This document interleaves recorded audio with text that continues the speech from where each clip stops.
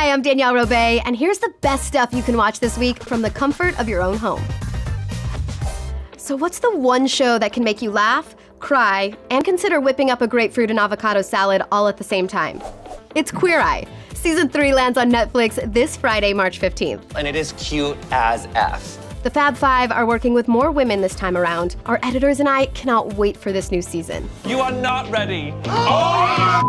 The show is super bingeable and just makes you feel good about humanity. Plus, Antoni's obscure graphic tees are their own special gift. You got it good here.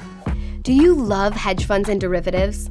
Neither do I, but that did not stop me from loving Billions on Showtime. The new season starts up Sunday, March 17th. This is where you do some version of the happy dance. You have got to get in on this. It's Money versus Power with Paul Giamatti and Damian Lewis in one of the best frenemy rivalries on TV. Thank you. Don't get me started, but it's too late. I've got big opinions on this show. This season, I want Axe to get his act together with Lara because love. Also, I do not want him to get romantic with Wendy because that will ruin everything else. And I think Bryan will go after Chuck with Jack Foley's help. okay, I feel better after getting all of that out. Yes! Okay, so if American comedy and British comedy got together and had a little love baby, it would literally be this show catastrophe. The fourth season drops on Prime Video this Friday, March 15th.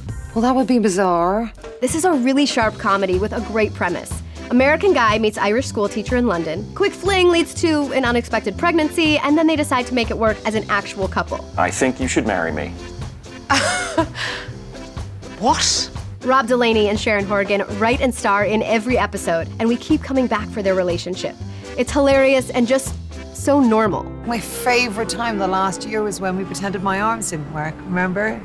All right, here are three more things to catch this week. The Oscar winning Best Documentary feature Free Solo hits Hulu this Wednesday, March 13th. It captures the first ever ascent up Yosemite's El Capitan with no safety gear. So intense. Then, for a heist movie with an all star cast, check out Triple Frontier on Netflix. Ben Affleck, Oscar Isaac, Charlie Hunnam, and more in the jungle, premiering this Wednesday.